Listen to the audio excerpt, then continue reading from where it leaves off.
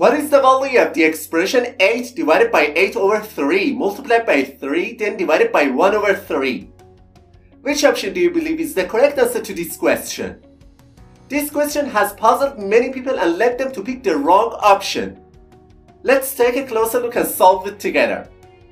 In the first step, many people go straight to the expression 8 over 3 times 3 because they think multiplication has priority over division and they tend to cancel out the 3's. So, this expression simplifies to 8 divided by 8 then divided by 1 over 3. In the next step, they go for the division between the two 8's and write this expression as 1 divided by 1 over 3 which gives them the answer 3. Then, without any hesitation, they claim that option B is the correct choice. But this answer is absolutely wrong. Now let me show you how to solve this expression properly.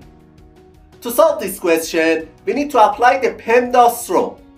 It means that we must stick to the correct order of operations and go through it from top to bottom step by step.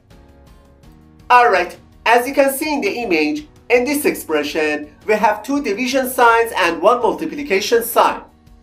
It's very important to remember that multiplication and division are on the same level of precedence.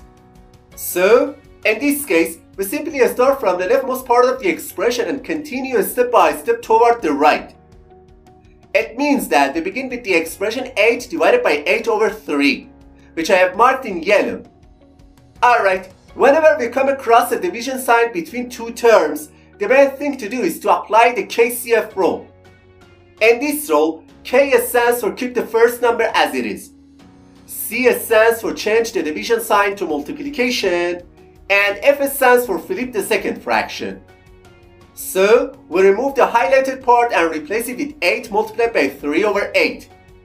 Now, the two 8's can be simplified and we can write this expression as 3 times 3 divided by 1 over 3. In the next step, we do the multiplication between the 3's, which simplifies it to 9 divided by 1 over 3.